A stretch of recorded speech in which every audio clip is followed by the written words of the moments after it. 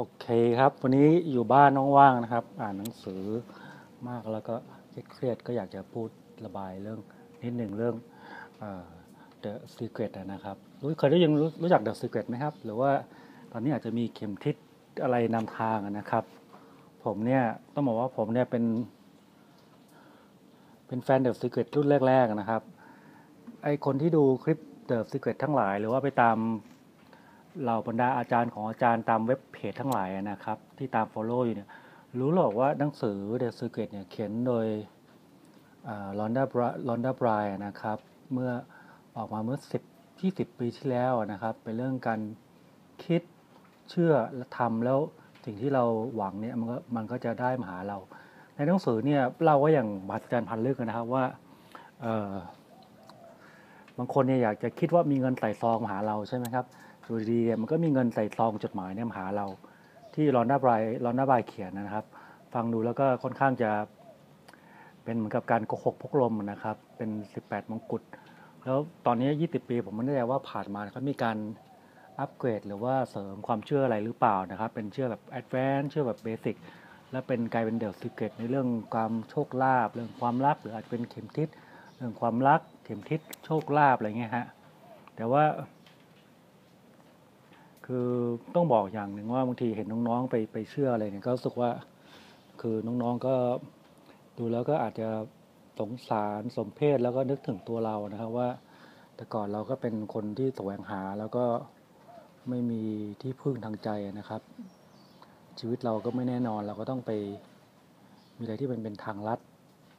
อันนี้คือคือคือคือลองฟังดูนะฮะว่าไอ้คำว่าทางลัดกับทางตรงนี่เป็นไงเดี๋ยวจะขยายให้ฟังนะฮะ เราก็ไปไขว่คว้ามันไว้นะครับ อะไรที่เป็นทางลัดได้ทำให้ชีวิตเรารวยเร็ว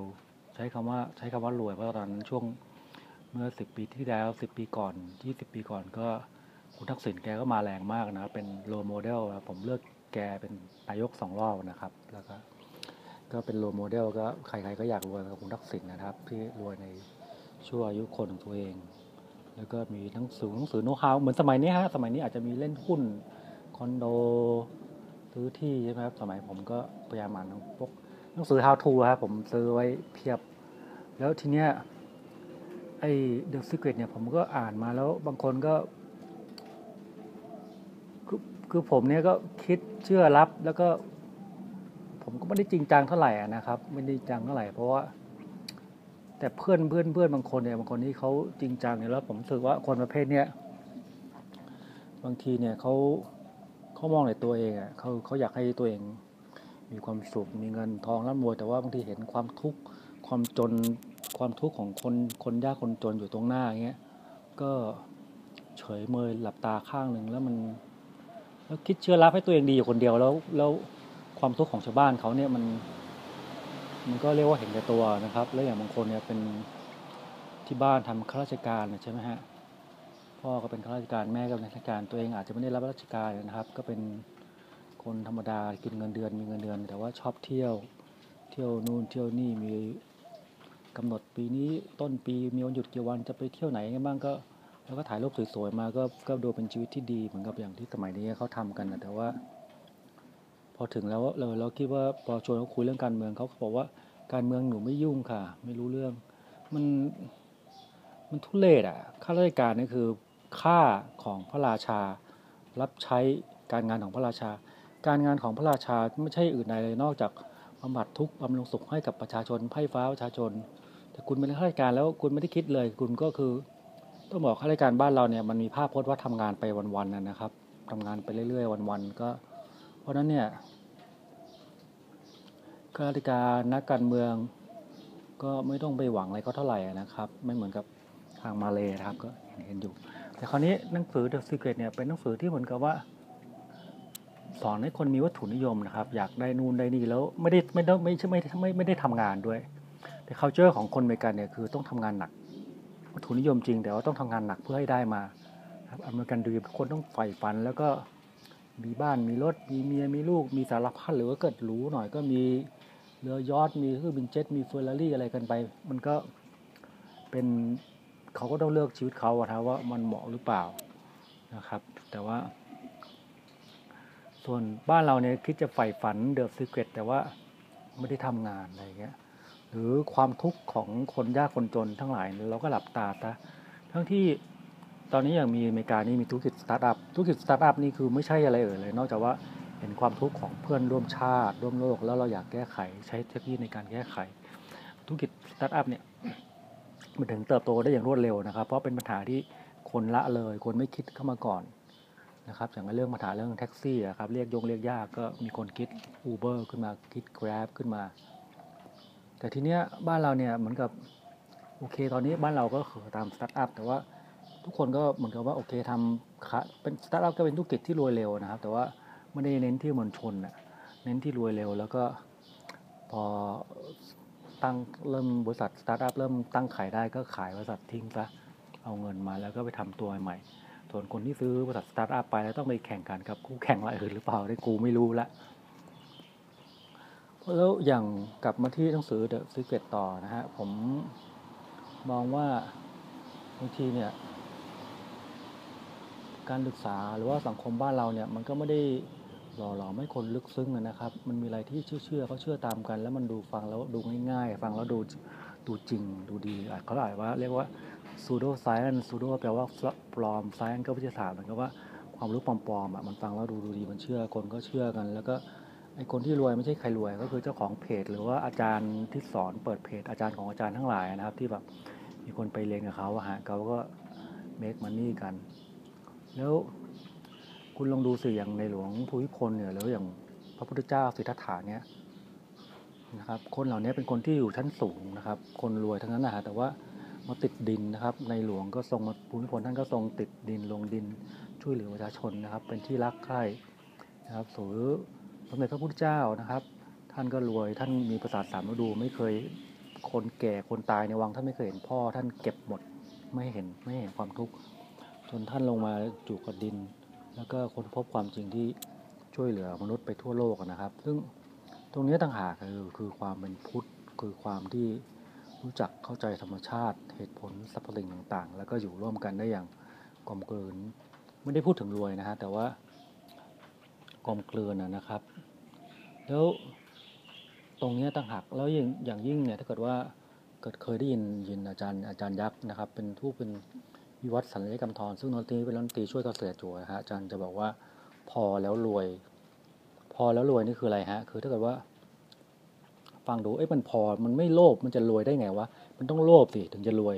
แต่จริงเนี้ยนะแล้วเนี่ยนะฮะผมที่ผมสัมผัสผู้คนในเศรษฐกิจ พอเพียงหลายหลายคนในกลุ่มอาจารย์วิวัฒน์นะฮะ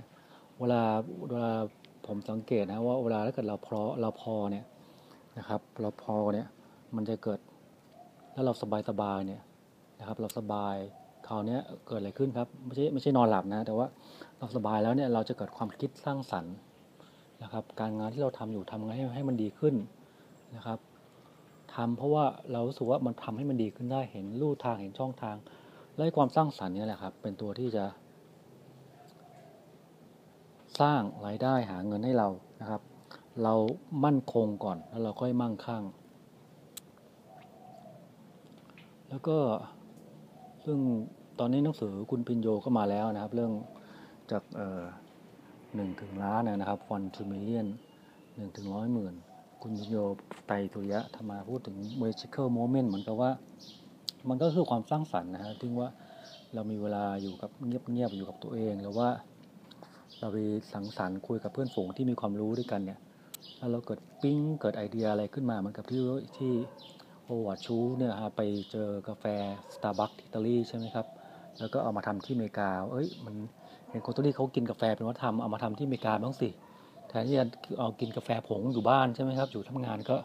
มีร้านกาแฟเข้าไปกินมีกินกาแฟหอมๆคือนี่ก็เป็นเป็นไม่ต้องมีเทคโนโลยีใหม่เลยนะครับ แต่ว่าเอาของเก่ามาแล้วก็มา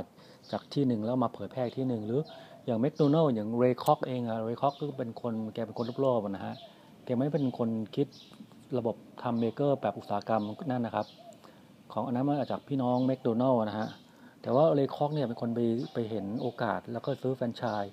คือพี่น้องแมคโดนัลล์ก็ทำแค่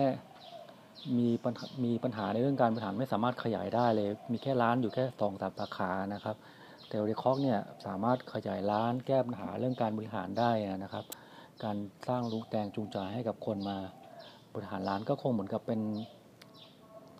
คล้ายๆ กับระบบจูงใจของพวก MLM สมัยนี้นะครับทำให้คนอยากมามีส่วนเป็นเป็น partner ด้วย แต่ซึ่งเรย์ก็เรย์ก็มีวิธีอย่างแยบยลในการเอากำไรจาก partner ของตัวเองนะครับ ซึ่งเห็นไหมครับว่าไอ้ธุรกิจพวกนี้มันไม่ได้เป็นเทคโนโลยีใหม่เลยนะ แต่ว่ามันใช้อยู่มันจะเรียกว่าอาจจะเรียกว่า magic shaker moment หรือว่าเรียกปิ๊งก็ได้ เห็นอะไรบางอย่างแล้วนึกถึงภาพ พี่น้องแมคโดนัลด์มีแค่ร้านสองสามร้านแต่เลยคอกนึกว่า นึกถึงภาพตัว M นะครับ สีโค้ง สีเหลืองนะครับ แพร่ขยายไปทั่วอเมริกานะครับ อันนี้แหละคือ ผมคุณพิญโยแกเรียกว่า magical moment นะฮะ แต่ว่า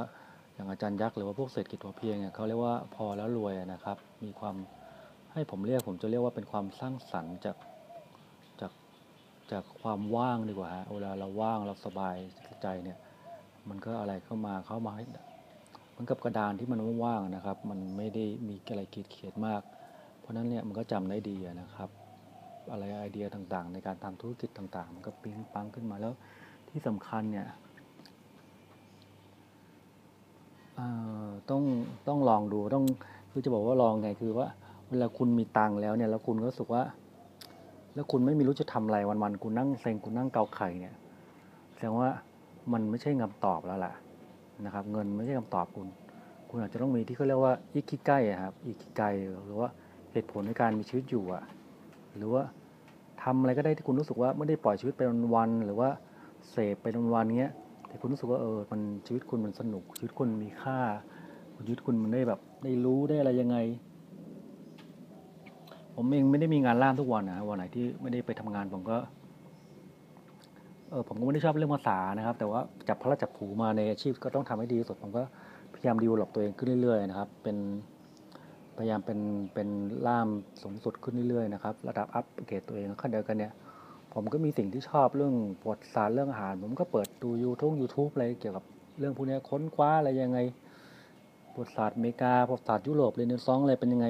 เพราะว่าหนึ่งผมอยากรู้รู้แล้วผมสนุกดีแล้วสองเนี่ยเป็นการฝึกภาษาผมด้วยนะครับ ซึ่ง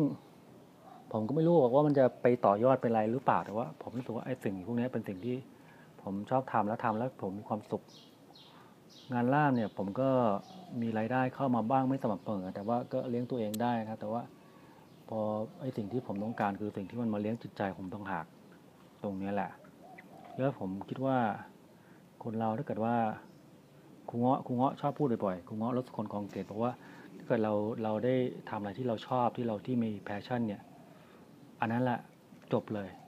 ครับหาตัวเองให้เจอแล้วก็ทำในสิ่งที่ที่ชอบที่รัก แล้วเกิดมันจะเป็นประโยชน์กับโลกบ้างเนี่ย อันนั้นมันก็เป็นเป็นประโยชน์กับโลกหรือว่าสร้างกำไรมันก็ต้องเป็นประโยชน์กับโลกถึงมันจะสร้างผลกำไรให้เราใช่ไหมครับ อันนั้นมันก็คงเป็นเป็นเป็น เป็น magical moment เป็นอะไรก็ที่เขาสรรหาจะเรียกแล้วอะแต่ว่าคือคนทำแล้วรู้สึกมีความสุขแล้วอะก็คงชีวิตก็คงแค่นั้นนะมั้งครับ ได้อยู่กับทำในสิ่งที่เราที่เรารักที่เราชอบให้คุณค่าแล้วก็มีความสุขนะครับ แล้วก็มันก็คงหาเลี้ยงเราได้พอประมาณ